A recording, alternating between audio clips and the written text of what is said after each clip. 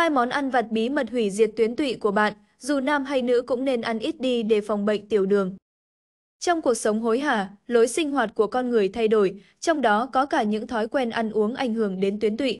Theo dữ liệu mới nhất do Liên đoàn Đái tháo đường quốc tế IDF công bố, tính đến năm 2021, ước tính có khoảng 537 triệu người trưởng thành đang sống chung với bệnh trên toàn thế giới. Con số này được dự đoán sẽ tăng lên 783 triệu người vào năm 2045. Tuy nhiên có đến một nửa số người bệnh đái tháo đường, tiểu đường không được chẩn đoán. Nhiều người đang sống với bệnh tiểu đường tuyếp 2 trong một thời gian dài mà không nhận biết được tình trạng bệnh của mình.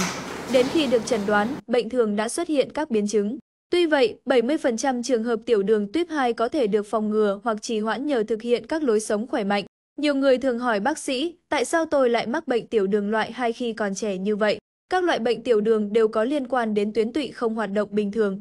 Thực tế, bệnh tiểu đường tuyếp 2 có liên quan mật thiết đến thói quen sinh hoạt không lành mạnh, bao gồm cả việc ăn uống. Tuyến tụy của chúng ta được chia thành hai phần, ngoại tiết và nội tiết. Tuyến ngoại tiết bao gồm các tuyến nang và ống dẫn. Các tuyến nang tiết ra dịch tụy và ống dẫn là kênh mà dịch tụy được thải ra ngoài.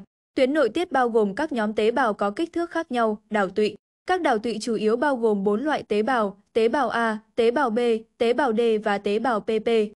Insulin mà cơ thể chúng ta cần được tiết ra bởi các đảo tụy. Nếu tuyến tụy có vấn đề và chức năng của các đảo tụy bị hạn chế thì đặc biệt dễ mắc bệnh tiểu đường. Trong cuộc sống hiện đại, nhịp sống hối hả khiến con người phải cố gắng theo kịp. Điều này đồng nghĩa với việc chúng ta phải đối mặt với áp lực nhiều hơn, kéo theo lối sinh hoạt thay đổi. Trong đó có cả những thói quen ăn uống ảnh hưởng đến sức khỏe tuyến tụy. Dưới đây là hai món ăn vặt đang âm thầm hủy diệt tuyến tụy của bạn, bất kể là nam hay nữ, hay ăn ít lại. 1. Đồ ăn chứa nhiều đường.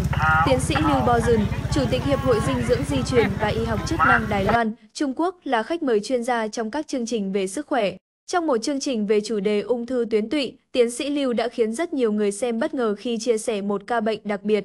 Đó là một người đàn ông gần 50 tuổi, không uống rượu, chưa từng hút thuốc, chăm tập thể dục nhưng lại bị mắc bệnh ung thư tuyến tụy giai đoạn 3. Điều này khiến ngay cả bản thân bệnh nhân cũng rất ngạc nhiên. Mặc dù bất ngờ và đau đớn, nhưng cuối cùng bệnh nhân vẫn phải chấp nhận sự thật rằng thói quen ăn nhiều đồ ngọt của mình chính là nguyên nhân gây bệnh. Tiến sĩ Lưu cho biết, tiêu thụ đồ ngọt ở mức độ vừa phải với lượng đường ở mức cho phép thì sẽ không ảnh hưởng nhiều đến sức khỏe. Nhưng nếu tiêu thụ quá mức trong thời gian dài thì sẽ để lại những tác động xấu, đặc biệt là tăng nguy cơ mắc các bệnh về rối loạn chuyển hóa. Ung thư hệ tiêu hóa như là ung thư gan, ung thư tuyến tụy, ung thư trực tràng hay ung thư dạ dày.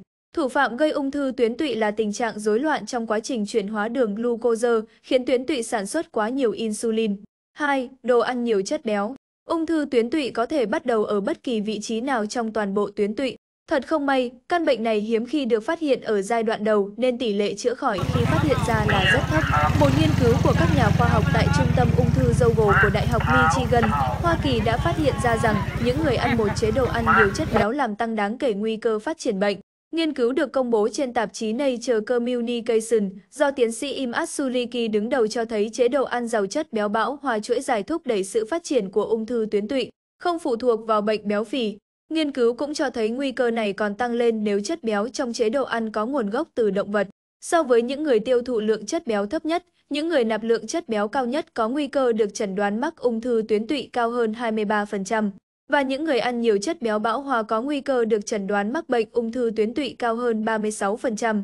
Một số thực phẩm giàu chất béo cần tránh để giảm nguy cơ mắc bệnh bao gồm thịt mỡ, các sản phẩm thịt bao gồm cả xúc xích, bơ, sữa và mỡ lợn, phô mai, đặc biệt là phô mai cứng như phô mai cheddar, kem, kem chua và kem bơ. Thói quen ăn uống bất cẩn theo thời gian sẽ khiến càng ảnh hưởng tuyến tụy, dẫn đến tỷ lệ mắc bệnh tiểu đường tăng cao. Nếu không cẩn trọng trong ăn uống thì dù dùng bao nhiêu loại thuốc hạ đường huyết cũng không có tác dụng.